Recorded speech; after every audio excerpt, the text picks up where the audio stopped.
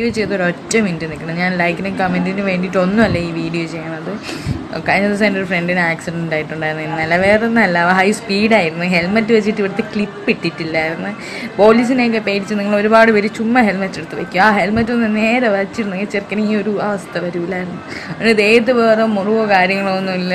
അനന്തപുരി ഹോസ്പിറ്റലിലായിരുന്നു അതിന്റെ തലയാണ് അടിച്ചിട്ട് internal bleeding ആണ്. ബ്രെയിനിനാണ് കുഴപ്പം ഒരു അമ്മ കാരണം ഞാൻ നേരിട്ട് കണ്ടു ഇരുപത്തിമൂന്ന് വയസ്സിൽ ഇരുപത്തിമൂന്ന് കൊല്ലം അവർ വളർത്തിയെടുക്കാൻ പറ്റൊരു പാടെന്നൊക്കെ പറഞ്ഞുകൊണ്ടായിരുന്നു ഒരുപാട് കരയണം ഞാൻ കണ്ടു. പിന്നെ മെഡിക്കൽ കോളേജ് ഹോസ്പിറ്റലിന്റെ അവിടെ ദയവ് ചെയ്ത് നിങ്ങൾ റൈഡേഴ്സ് ആയിരിക്കും എല്ലാം ഞാൻ സമ്മതിച്ചിട്ടുണ്ട്.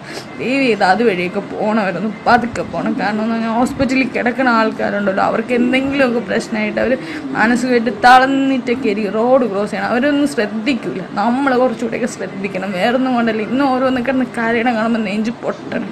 വേറൊരാൾക്ക് ആക്സിഡന്റ് ആയി മരിച്ചെന്ന് അയ്യോ പാവം. എന്നെ തോന്നും. പക്ഷെ കൂടെ ഉള്ളതൊന്നും